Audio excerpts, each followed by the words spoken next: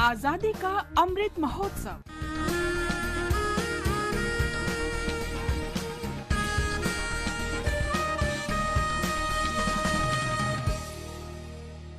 Azadi Ka Safar with AIR News. Birth of a Nation. India's glorious freedom struggle is one of the greatest struggles the modern world has ever witnessed. AIR News brings you a glimpse of the struggle every day.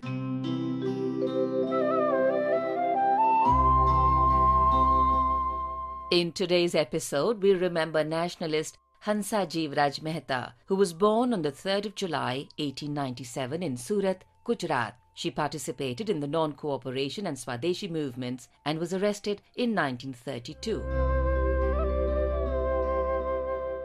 Hansa Jivraj Mehta studied philosophy at Baroda College and then journalism and sociology in England. In 1920, while in London, Mehta met Sarojini Naidu, who would later introduce her to Mahatma Gandhi and the Indian women's freedom movement. Mehta's political career was marked by her 1937 Bombay Legislative Council election win. Mehta remained on the council until 1949. During this time, Mehta became closely involved with the All India Women's Conference and became its president in 1946. During her presidency, she drafted the Indian Women's Charter of Rights and Duties, which demanded gender equality and civil rights for women.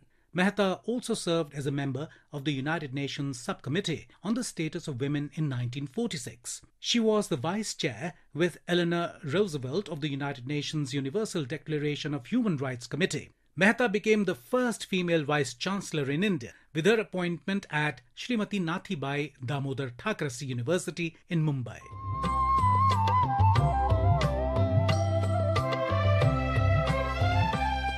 Mehta was elected to the Constituent Assembly from Bombay, where she strongly argued in favor of women's rights and intervened in debates on uniform civil code and reservation. Mehta was the Indian delegate to the United Nations Human Rights Commission. She played a significant role in ensuring that Article 1 of the Universal Declaration of Human Rights was made inclusive and is credited with changing the phrase all men are born free and equal to all human beings are born free and equal.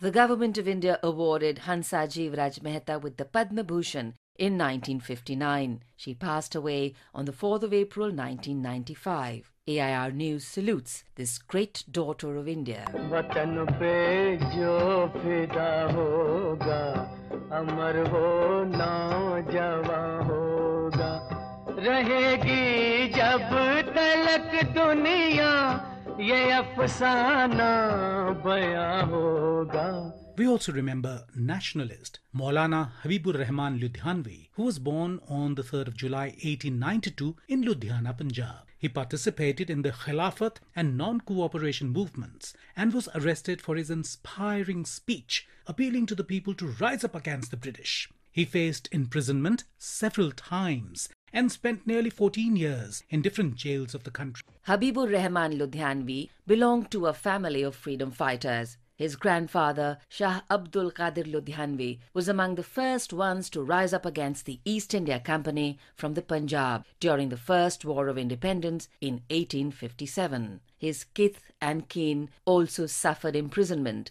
and wife, freedom fighter Shafatunissa Bibi, supported him in spite of the cruel repression unleashed by the British police on her family.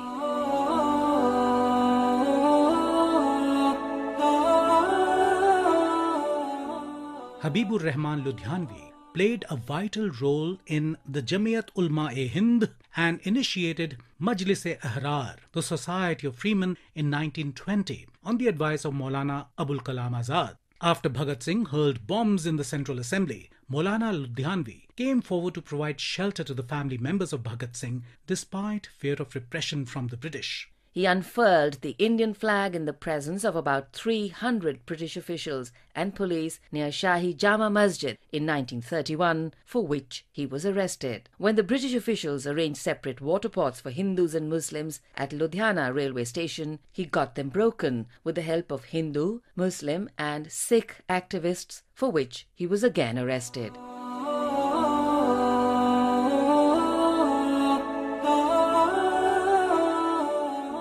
During the turbulent times of 1947, Habibur Rahman left Ludhiana on the advice of his friends because of the hostile environment and took shelter in refugee camps at Delhi. He rejected the divisive politics of Muslim League and stayed back in his native place Ludhiana. Maulana Habibur Rahman Ludhianvi, who was committed to the cause of freedom and independence of the people till his last moment, passed away on the 2nd of September 1956. All India Radio News salutes the great nationalist. And that brings us to the end of this episode of Azadi Ka Safar with AIR News. See you in the next episode tomorrow.